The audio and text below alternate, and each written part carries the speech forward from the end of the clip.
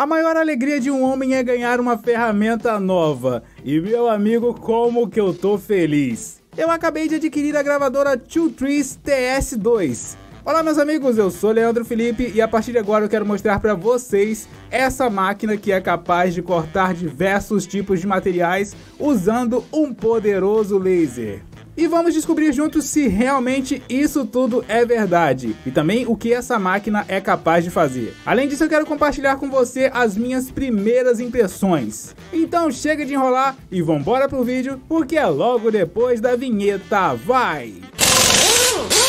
E olha, a máquina vem muito bem embalada e apesar de estar dividida em três caixas, não são tantas peças como eu imaginava.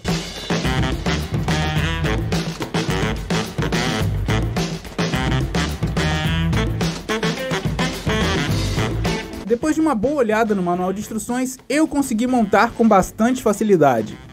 É muito importante prestar atenção para não encaixar algum parafuso no lugar errado. E ainda bem que cada parafuso vem dentro de uma embalagem com um número específico.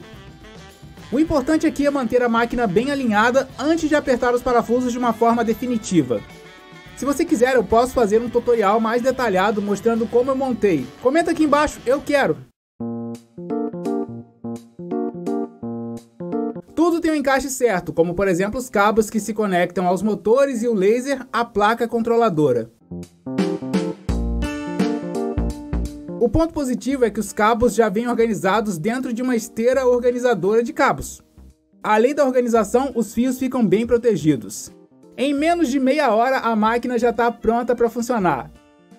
O laser da máquina possui um foco tanto manual quanto automático. Além disso, possui alarme de incêndio e um botão de emergência, caso precise desligar a máquina em um possível acidente. A máquina é bem grande e a sua área de corte é de cerca de 41 centímetros quadrados. Eu achei bem interessante o sistema de fixação do laser, deixando muito mais fácil para fazer uma futura manutenção.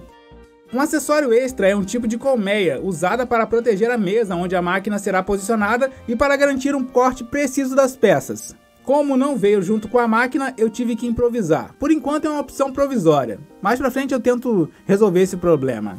Também vieram alguns materiais para teste, como por exemplo uma chapa de acrílico e alguns chaveiros de metal. No manual de instrução você encontra uma tabela com todos os tipos de materiais que podem ser trabalhados com a máquina. É possível usar um aplicativo de celular para controlar tudo, mas para um resultado profissional eu prefiro usar o programa Laser GRBL, que é gratuito e inclusive indicado pelo próprio fabricante dentro do manual de instrução. Usando o aplicativo para celular, eu encontrei alguns problemas, como por exemplo a perca da conexão entre o aparelho e a máquina, tendo que reiniciar todo o processo. Usando o programa de computador, o controle da máquina é bem mais profissional e eu consigo resultados muito mais detalhados. Mesmo com o auxílio da tabela de valores apresentada no manual, é muito importante fazer testes antes do trabalho definitivo.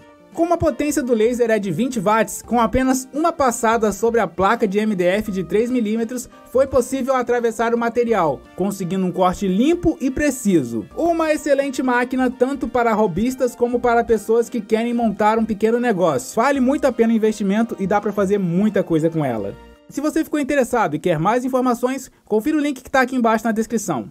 Valeu e até a próxima!